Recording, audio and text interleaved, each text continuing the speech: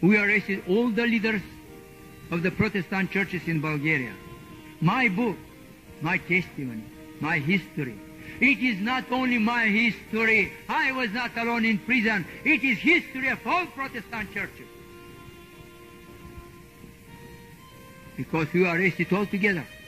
16 pastors. I enter courageously in secret police. Ready to offer my life for Jesus.